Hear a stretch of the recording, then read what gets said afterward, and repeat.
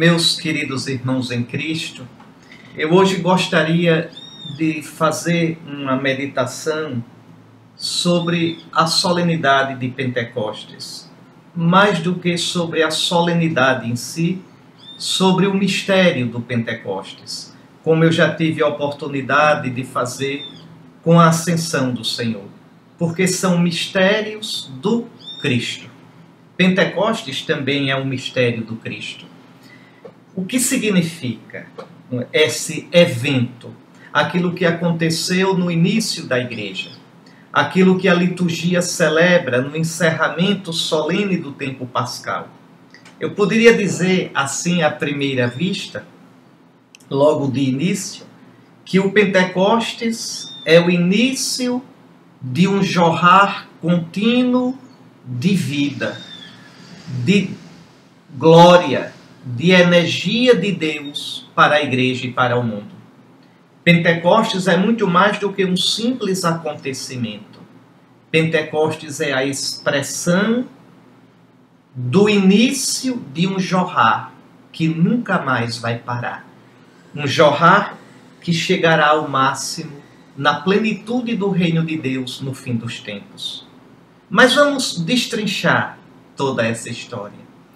Primeiramente, recordem-se do que eu já tive a oportunidade de falar sobre o mistério da ascensão do Senhor.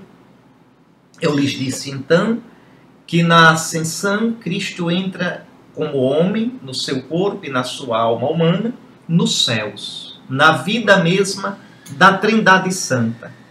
O homem Jesus que se encarnou, que nos amou, que entregou toda a vida por nós até a morte e morte de cruz, que foi ressuscitado pelo Pai no Espírito Santo e que agora, à direita do Pai, ou seja, com o poder do Pai, e esse poder é o Espírito Santo, ele se tornou cabeça da igreja, cabeça de todo o universo.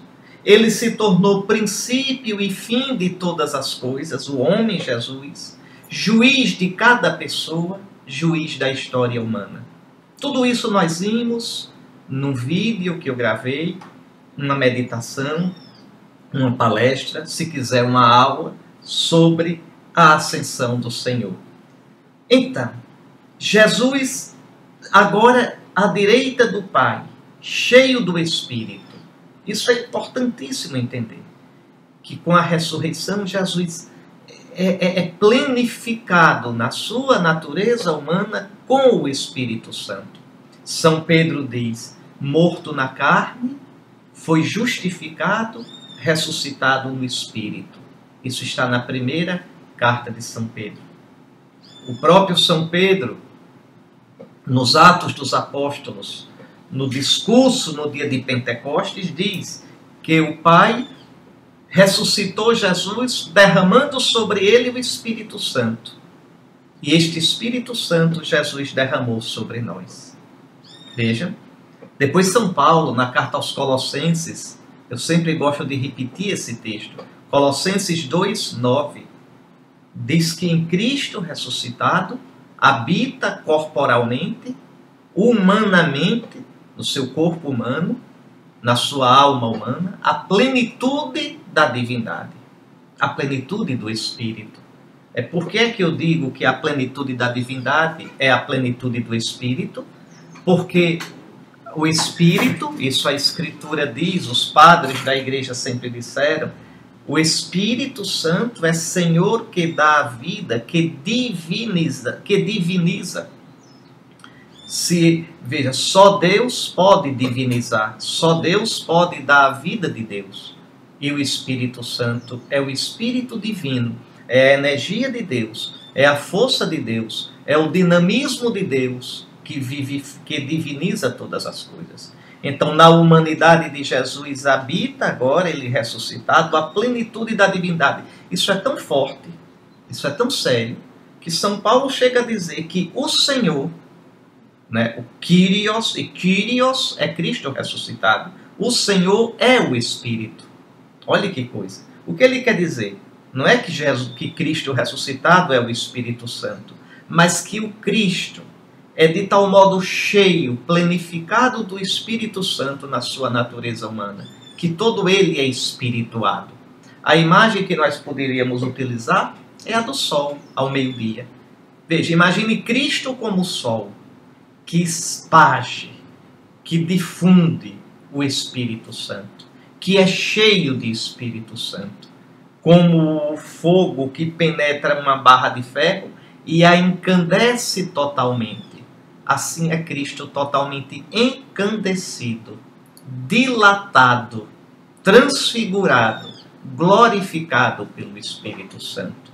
O Espírito, que é o próprio Deus, que é a própria energia de Deus, que é o próprio dinamismo de Deus.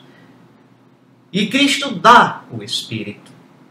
Cristo, com a sua ascensão, agora à direita do Pai, eu lhes dizia que na ascensão Cristo mostra, Cristo vai agora revelar, Cristo é, o que ele é para nós. É, é importante recordar o que eu falei no vídeo sobre a ascensão. Por isso, há, há duas imagens no Evangelho de João, usadas por Cristo, que mostram bem essa realidade. A primeira imagem é João 4, no diálogo com a samaritana. Olha, olha que coisa interessante. Jesus está sentado à margem, na borda do poço de Jacó.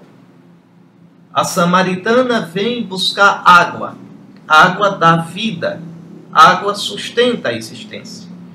E Jesus diz à samaritana que quem bebe da água daquele poço ainda vai ter sede. Quem é Jacó? Jacó é o velho Israel. Lembra? Israel era o, é o apelido, é o nome que Deus deu a Jacó. Então Jacó é o neto de Abraão, Jacó, Israel, é o pai do povo de Israel, o povo das doze tribos. Esse povo de Israel bebe do poço de Jacó. Esse, esse, esse povo de Israel vive da lei de Moisés. Veja, vivem da lei. Mas quem bebe da água desse poço ainda vai ter sede. Jesus, sentado na borda do poço, diz: Quem beber da água que eu der, veja, ele tem uma água, não vai mais ter sede. Do meu seio correrá um rio de água viva, que jorra para a vida eterna. Que, que poço é esse? Jesus é o novo poço. Jesus é o poço novo que substitui o poço de Jacó. E que água sai de Jesus? Não é água parada. A água do poço de Jacó é água parada, água de poço, água de cacimba, como dizemos no Nordeste. A água que Jesus dá, veja, é uma água que corre, é água viva, água corrente, água constante, sempre nova, sempre vindo, que jorra para a vida eterna. Vida eterna quer dizer a vida de Deus. Quando vocês irem na Escritura, vida eterna, não quer dizer simplesmente vida que não tem fim. No inferno, a vida também não tem fim e não vale nada. Vida eterna, eterna quer dizer do eterno, do Deus eterno, vida divina. Pois bem, e não é uma vida qualquer, é Zoé, é a vida que ultrapassa, que transfigura a vida física e a vida psicológica, a vida inteligente. Transforma essa vida toda, turbina, diviniza, glorifica. É a vida do reino de Deus. Então Jesus diz que quem beber da água que ele der, veja, quem vier a ele, vai beber dessa água, uma água viva. Ele é o verdadeiro poço. É dele que vem esta água. É ele que dá agora à direita do Pai esta água. E que água é esta? É o Espírito Santo. Porque uma outra coisa que é importante você compreender: no seio de Deus não existe coisas, só existe Deus. Então, quando a gente fala em força de Deus, glória de Deus, vida de Deus, amor de Deus, comunhão de Deus, nada disso em Deus é coisa. Nada disso. Dentro de Deus não existe nada diferente de Deus. Deus é simples. Então, tudo isso em Deus é o Espírito Santo. O Espírito Santo é a vida. o Espírito Santo é a glória, o Espírito Santo é o poder, o Espírito Santo é a energia, o Espírito Santo é o dinamismo, o Espírito Santo é a comunhão, o Espírito Santo é o amor. Tudo isso é o Espírito Santo. Então, quando Jesus diz que é, é, vai dar a vida, é o Espírito. É o Espírito Santo que está nele. É o Espírito Santo que ele tem em plenitude. Depois tem uma outra imagem que Jesus usa, que é muito parecida com essa de João 4. É em João 7. Se alguém tem sede, olha o poço. Se alguém tem sede, venha a mim e beba. Quem não tem sede? Sede de vida, sede de paz, sede de plenitude, sede do reino de Deus. Se alguém tem sede, venha a mim e beba, porque, como está escrito, do seu seio, do seio do Messias, do coração do Messias, sairão rios de água viva. E é interessante que no versículo 37, aqui estamos no capítulo 7 de São João, no versículo 37, o próprio evangelista explica que Jesus estava falando do Espírito Santo que iriam receber os que acreditassem nele. Iriam receber no batismo. Veja, iria receber a partir da efusão de Pentecostes, nos sacramentos. Iriam receber os que acreditassem nele. E aí João continua dizendo: porque ainda não havia Espírito, porque Jesus não tinha sido glorificado. Não é que não existisse o Espírito Santo, o que João quer dizer? Ainda não tinha havido a efusão do Espírito, porque Jesus não fora glorificado. Então, depois da glorificação de Jesus, na sua ressurreição e ascensão, vai haver a efusão do Espírito. Esse poço de Jacó, que é Cristo, ressuscitado à direita do Pai, esse seio pleno de água viva, vai jorrar essa água para a igreja e através da igreja para o mundo. Veja, para o mundo como vida eterna. Pois bem, então, no Pentecostes, Jesus efunde o Espírito Santo. Eu já expliquei para vocês. Jesus foi ressuscitado no Espírito Santo, na força do Espírito Santo. Jesus já é cheio do Espírito Santo desde a sua ressurreição ele, quando no, no, na tarde mesma do domingo da ressurreição, sopra o Espírito sobre os apóstolos.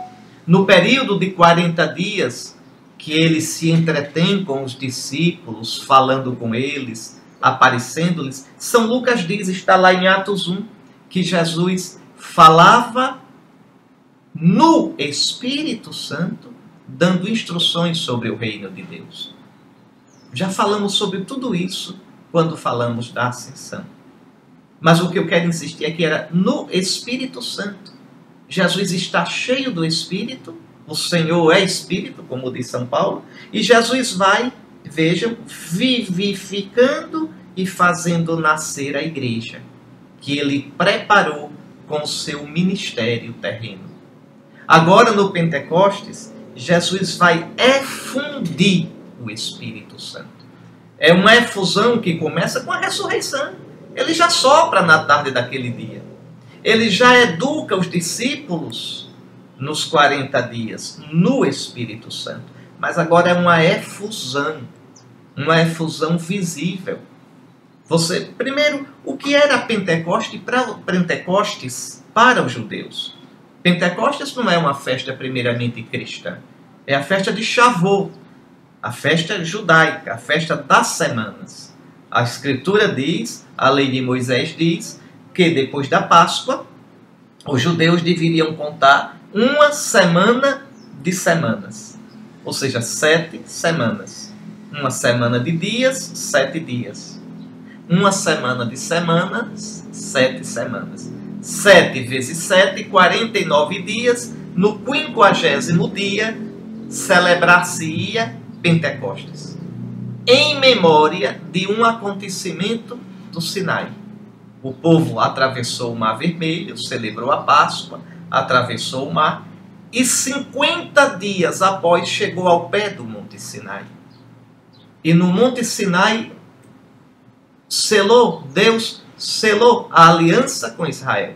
No Monte Sinai, Deus deu a lei, sintetizada nas dez palavras, nos dez mandamentos. Então veja, Pentecostes é a festa da aliança antiga, Pentecostes é a festa da lei, Pentecostes, os judeus também, quando chegaram na Terra Santa, celebravam em Pentecostes a festa das primícias, porque coincidia com o início da colheita do trigo e da cevada.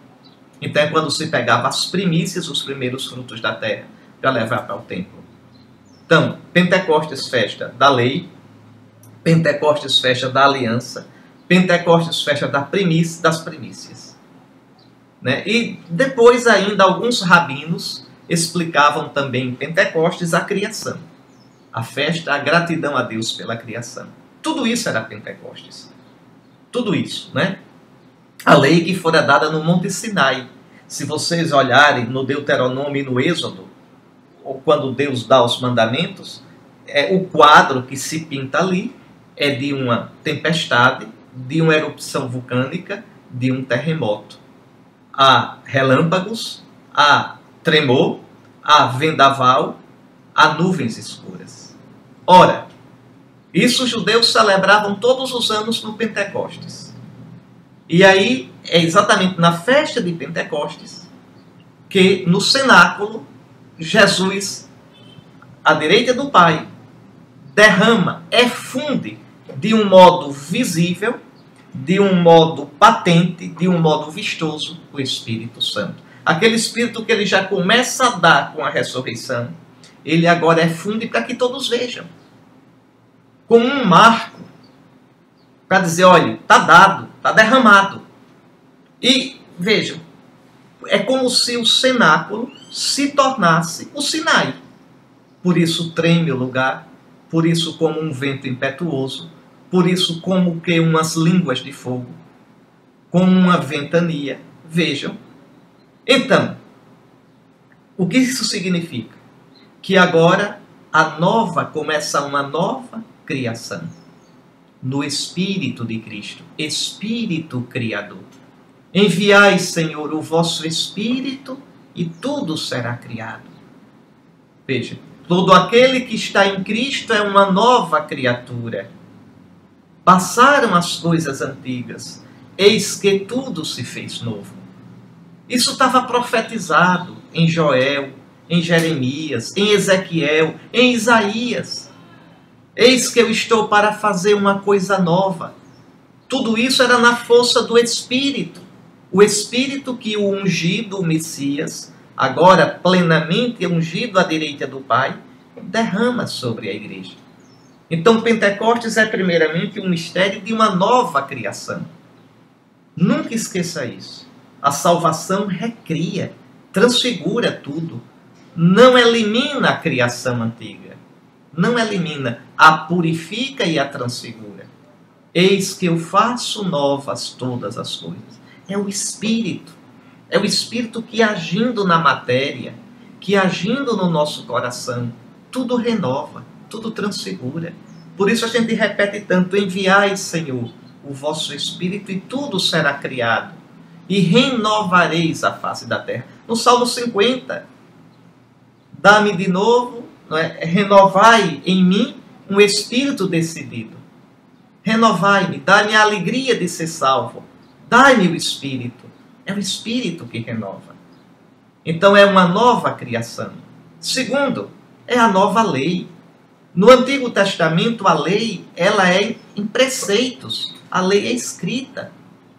Mas o profeta Jeremias, o profeta Ezequiel, Joel também, tinham dito que haveria uma nova lei. O profeta Ezequiel fala muito isso. Que Deus infundiria a lei, escreveria, não mais em pedras, mas no nosso coração. Não mais em pedra dura, mas com coração de carne. E que daria o seu espírito. O dom da lei, como os profetas anunciavam, está ligado ao dom do espírito. Porque agora é uma lei interior. É dentro. É uma lei que convence é uma lei que é plasmada no coração. Então os profetas anunciaram isso. Uma lei nova. E o profeta Ezequiel fala: derramarei uma água. Veja, a água é símbolo do Espírito, que vai, purificar, vai vos purificará. Então, essa lei é o Espírito.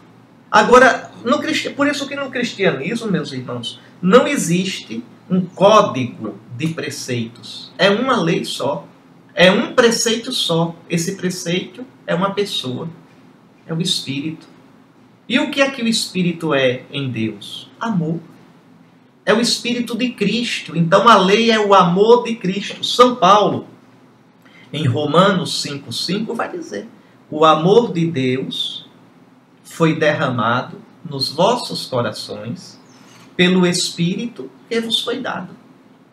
Então não existe no por isso que o cristianismo é tão radical.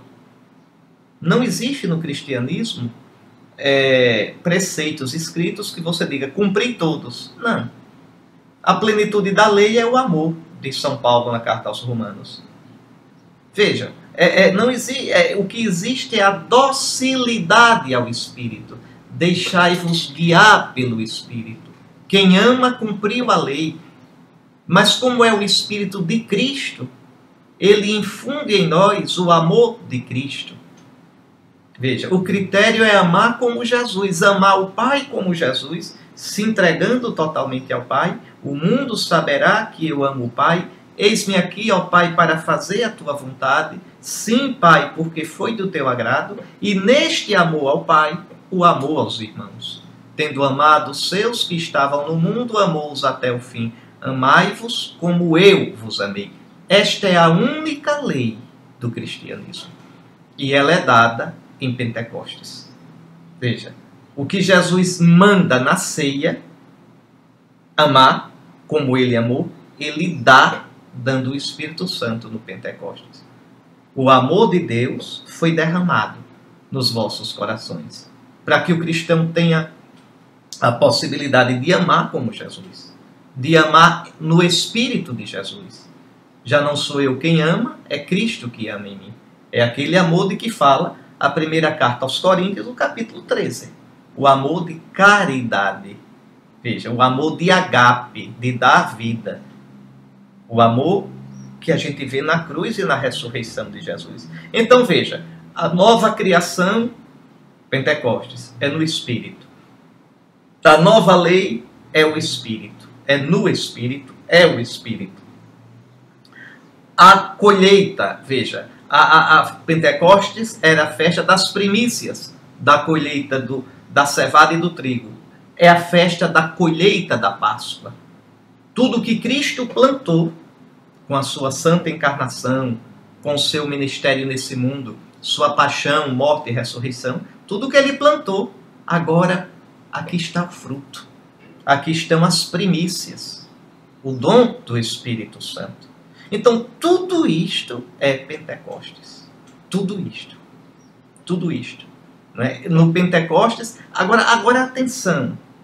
Veja, Cristo, eu, eu já disse, eu vou repetir. Cristo começa a dar o Espírito à igreja já na tarde do domingo da ressurreição. Vou repetir isso. Soprou o Espírito. Cristo passou 40 dias, vou repetir isso, falando sobre o reino de Deus na força do Espírito Santo Atos capítulo 1. Leia lá. Né?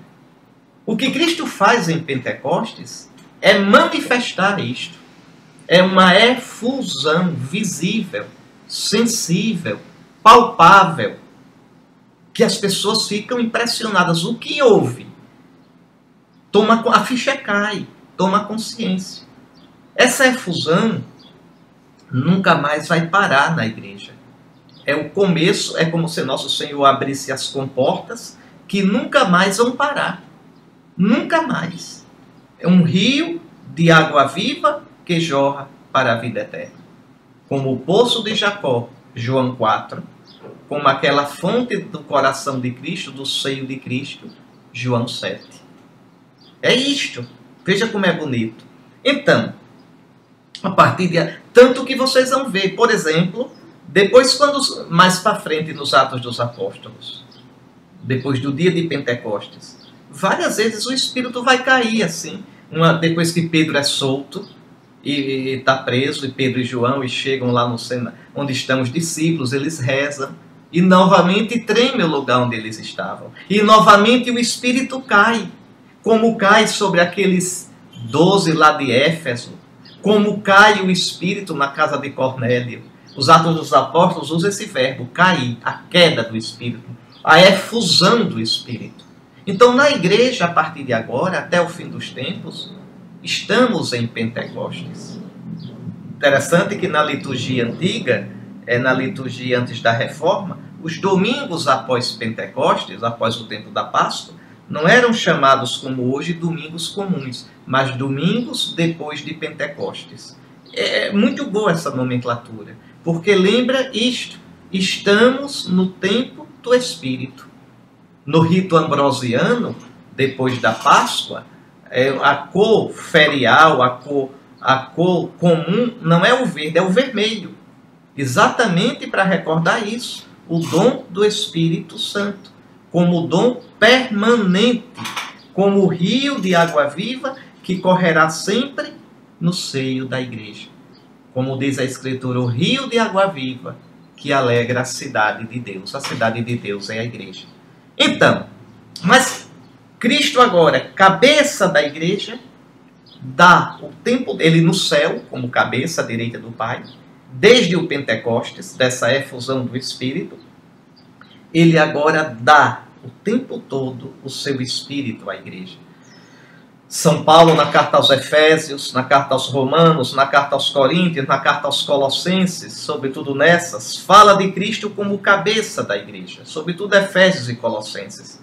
Aqui é preciso entender, na medicina antiga, os médicos pensavam, né? A cabeça gera a vida, dá vida, harmonia, direção e crescimento ao corpo. Então, São Paulo usa essa concepção e essa imagem. Cristo no céu, glorificado, no Pai, na Trindade, é a cabeça. E o seu corpo na terra é a igreja. E a cabeça dá o tempo todo a vida, a energia, a direção, o crescimento ao seu corpo, que é o Espírito Santo. Essa energia, essa vida, esse dinamismo é o Espírito Santo. Isso aparece também em João 15, na imagem da videira e dos ramos. Os ramos vivem da seiva da videira. Essa seiva é o Espírito Santo. É, é muito bonito, porque vocês vejam, Cristo não fundou a igreja só. Ele fundou e continua sustentando a fundação. Ele continua, a igreja é, é totalmente dependente de Cristo no Espírito. A igreja vive da vida de Cristo, da seiva de Cristo. Por isso ele dizia: sem mim, nada podeis fazer. O Espírito realmente é uma energia. O Espírito realmente é uma força. O Espírito realmente é um dinamismo. A igreja não vive da vida dela. A igreja vive de Cristo, do Espírito de Cristo. Então, Cristo, cabeça, o tempo todo enche o seu corpo, que é a igreja, com a sua energia, com a sua força, com o seu dinamismo, que é o Espírito Santo. Os teólogos medievais chamam essa ação do Espírito de graça capital, quer dizer, graça da cabeça. Captis, em latim, capti, captis, cabeça. A graça da cabeça, que vem para o corpo e que se difunde no corpo todo. Se difunde no corpo todo. Então, Cristo age assim e a partir do Pentecostes agirá sempre, sempre vivificando, dirigindo, dando crescimento. E agora eu gostaria de, de, de analisar com vocês alguns sinais dessa ação do Espírito de Cristo na igreja, que começa com Pentecostes. Primeiro na palavra. Isso a gente vê o tempo todo no Novo Testamento. A palavra é pregada na força do Espírito. O Espírito inspirou a palavra, inspirou a pregação. A palavra é a pregação. Depois inspirou que essa palavra seja colocada por escrito e inspira os que ouvem a palavra, os que pregam e os que escutam a palavra. A palavra é pregada no Espírito, por isso a palavra de Deus tem a força que tem. Como é que textos tão antigos como os textos da Escritura têm essa força de gerar vida, de mexer com a vida da gente? Veja, eu sou bispo, não casei, não, não escolhi outra profissão, vivo numa terra que não é a minha. Tudo isso pela força da palavra. A palavra mexeu na minha vida. A palavra me tirou do meu sossego, colocou de cabeça para baixo a minha existência, norteia, veja, a minha vida. Veja, é uma palavra de vida que gera vida. É uma força que a palavra tem. Ela consola, exorta, repreende, anima, corrige, veja, dirige, porque é palavra no Espírito. Ela é pregada na força do Espírito. Nunca fica velha, nunca fica desatualizada. Então, primeiramente, isso, o Espírito age na palavra, na pregação. Não estou falando só da Bíblia, a palavra. A palavra é mais amplo que a Bíblia. A Bíblia é a palavra colocada por escrito, codificada. Depois, pelos sacramentos. Não é? Ele vem pela, veja, pelos sacramentos, não é? pela palavra e pelo banho da regeneração de São Paulo aos Efésios, no capítulo 5. Pela palavra e pelo banho. Pela palavra e pelos sacramentos. Esse banho é o batismo, porta dos sacramentos. Tem que entender essas coisas são muito importantes. Então veja, não é, o Espírito é dado, o que a palavra proclama, o que a palavra promete com autoridade, o sacramento entrega, o sacramento dá. Os sacramentos que são celebrados no Espírito Santo. É? é interessante que na cruz, antes de entregar o Espírito, que já é uma profecia mística da entrega do Espírito em Pentecostes, né? antes de, logo de, antes de entregar, logo depois de entregar o Espírito, sai a água do batismo e o sangue da Eucaristia do lado de Cristo, como ele prometeu em João 7: se alguém tem sede, venha a mim e beba. A água do batismo e o sangue da Eucaristia, que simboliza o quê? Os sacramentos, os sete sacramentos da igreja. Os sete dão o Espírito Santo. No batismo, o Espírito vem como vida de Cristo. Na Crisma, o Espírito vem como força de Cristo. Na Eucaristia, o Espírito consagra o pão e o vinho em corpo e sangue de Cristo como amor que se imola. Na confissão, na penitência, o Espírito vem como remissão dos pecados. No matrimônio, o Espírito vem como amor de aliança entre Cristo e a Igreja. No sacramento da ordem, o Espírito vem como unção que configura Cristo cabeça e esposo da igreja, aquele que é ordenado para a missão. E na unção dos enfermos, o Espírito é dado como força para completar na nossa carne o que faltou da paixão de Cristo. É o Espírito, como diz o Apocalipse, septiforme, o Espírito que tem a forma dos sacramentos. Sete, porque quer dizer variedade, plenitude, completeza. Então, o Espírito, veja, faz com que a palavra seja viva, autoritativa e pregada com força e eficácia. E esse Espírito faz com que os sacramentos entreguem o que a palavra promete. Como é Espírito de Cristo, o que é que ele dá nos sacramentos? Ele dá Cristo. Ele dá a vida de Cristo. Ele dá a energia de Cristo a gente celebrando os sacramentos, né, e os sacramentos são celebrados não é só pela pessoa que recebe, é pela igreja. Você recebe os sacramentos, você celebra os sacramentos como membro da igreja, membro da igreja. É o corpo todo que recebe essa vida. Então, eu vejo, celebrando os sacramentos, a igreja vai se cristificando, vai se enchendo do Espírito de Cristo dos sentimentos de Cristo, da vida de Cristo. Cada vez mais a igreja vai crescendo na comunhão com Cristo, vai se tornando cada vez mais corpo de Cristo. Cada vez que se celebra o sacramento, não existe sacramento privado.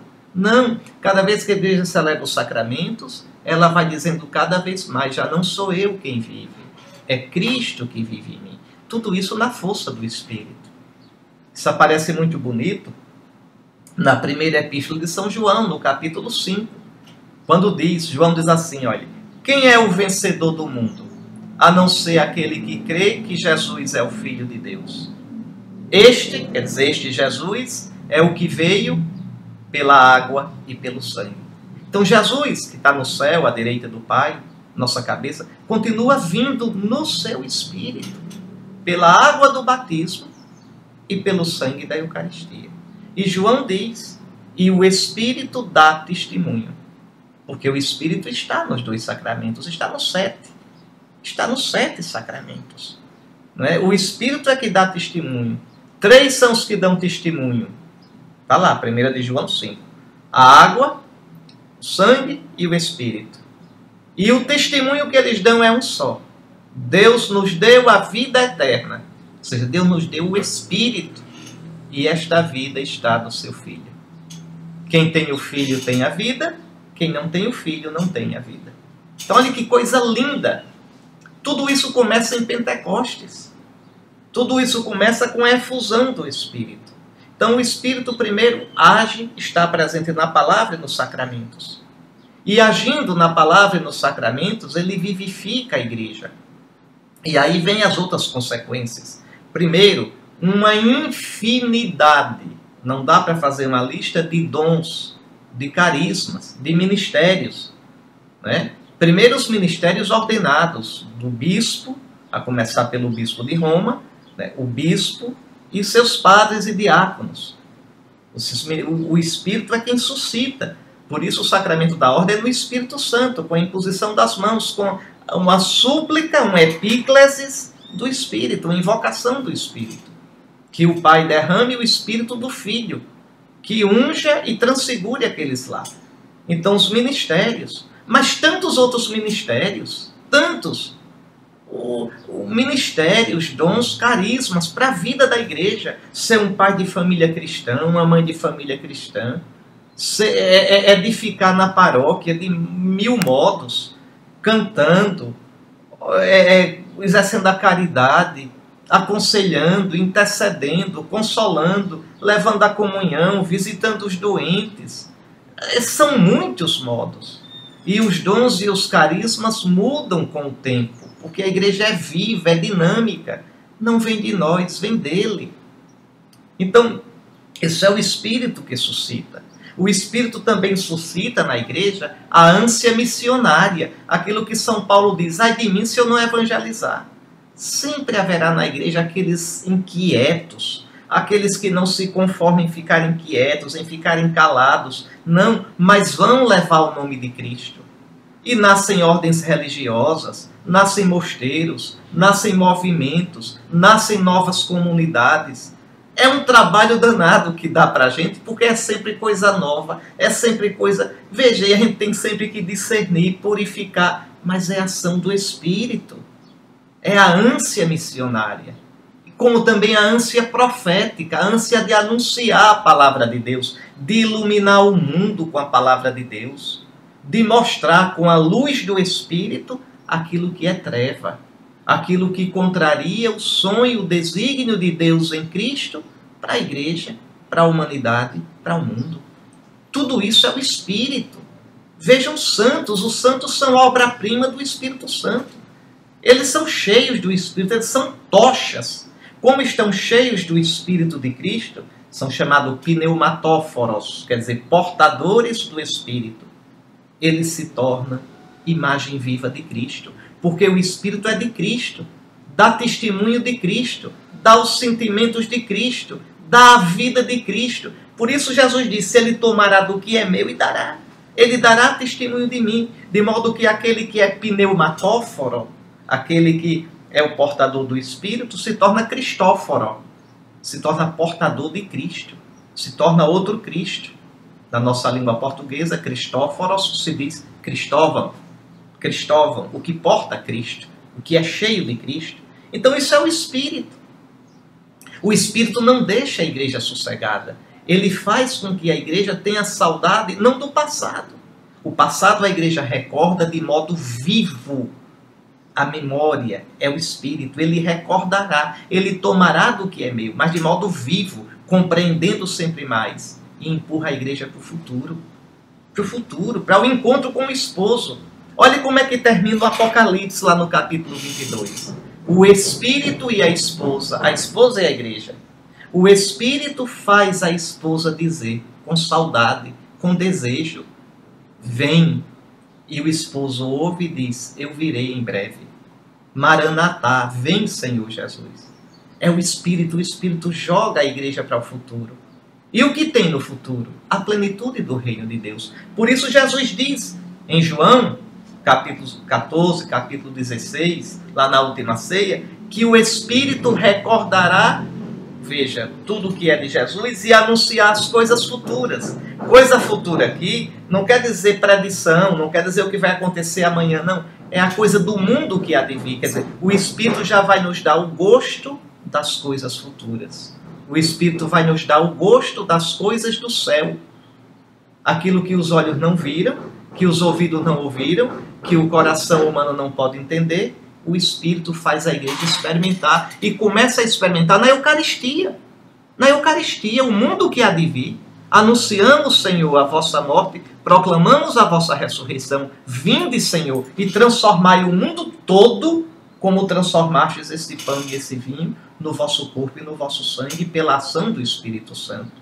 Que passe esse mundo e venha a tua graça, Senhor. Que no teu Espírito Santo todo o mal seja queimado. Veja, e tudo purificado apareça um novo céu e a nova terra. Isso é a Santo Espírito. Por isso é o Espírito que conduz a igreja à verdade plena, à verdade de Cristo, a compreender sempre mais o Evangelho de Cristo e suas consequências. Por isso é que o dogma, a doutrina da igreja, não é uma coisa congelada. Que coisa triste quando você vê algum irmão fundamentalista. Onde é que está na Bíblia? Mostre na Bíblia. Não é assim. Isso aqui não é um livro morto. Isso aqui não é uma receita de bolo. Isso aqui é a palavra de Deus viva e eficaz, inspirada pelo Espírito, que só pode ser compreendida na força do Espírito e na igreja, dentro da igreja, dentro da comunidade que tem o Espírito e celebra a Eucaristia no Espírito. Então o Espírito vai conduzindo cada vez mais a igreja a entender melhor a sua fé, a doutrina, o mistério de Cristo, o plano de Deus, até a consumação no reino de Deus. Esse Espírito Santo também, ele no coração dos fiéis, dá testemunho de Jesus, de que Jesus está vivo. São João, na sua primeira carta, no capítulo 2, diz: Vós recebestes a unção do Santo. A unção do Santo é o Espírito Santo. Santo é Deus. A sua unção é o Espírito. Veja. E não é preciso que ninguém vos ensine. O que quer dizer isso? Quer dizer que o cristão experimenta, convencido pelo Espírito Santo interiormente, que Jesus é Senhor, que Jesus é Deus, que Jesus é o Messias, que Jesus é o Salvador, que vale a pena dar a vida por Jesus, renunciar por Jesus, amar Jesus. O cristão experimenta isso. E o cristão experimenta também uma coisa interessante, né, que a gente em teologia chama de sentido da fé, um instinto da fé, o sensus fide.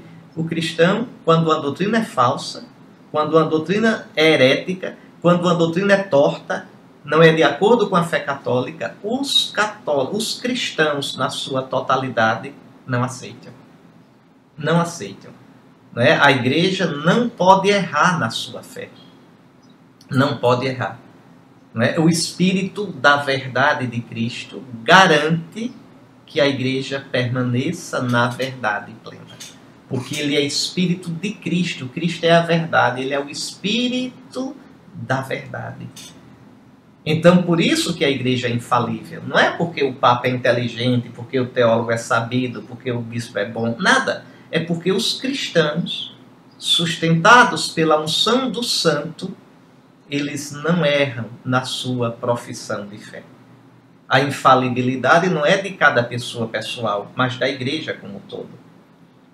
Por fim, o Espírito Santo, esse Espírito conduzirá, vai conduzindo a igreja nesse mundo como ministra do Evangelho, como, veja, aquele povo sacerdotal, até que Cristo, à direita do Pai, exploda esse mundo com a plenitude do Pentecostes. E o que é a plenitude do Pentecostes? A explosão final do fogo que é o Espírito Santo, quando tudo será transfigurado. Aí o tempo vai entrar na eternidade. A história vai entrar na glória.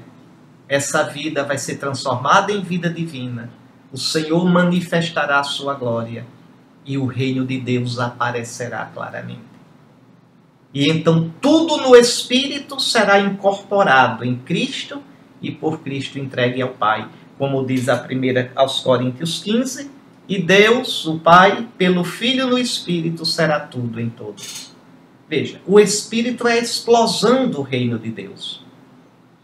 Ter o Espírito é já ter a semente do reino. Interessante que no Evangelho de São Lucas, é, quando diz venha o teu reino, Muitos textos antigos têm venha o teu espírito e nos purifique.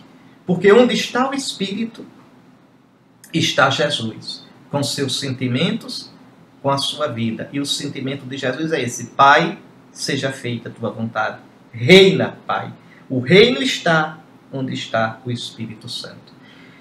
Tudo isso começa com Pentecostes. Tudo isso. É muita coisa para a gente meditar, para a gente agradecer a Deus e para a gente viver. A igreja vive em Pentecostes. A igreja vive mergulhada no Espírito. Estando no Espírito está em Jesus, que é nosso Salvador, nossa vida, nosso mediador junto ao Pai e o Pai, nosso destino eterno. Que essa consolação do Espírito permaneça sempre em cada coração e a nossa Páscoa permaneça para sempre até a plenitude do reino na glória. Amém.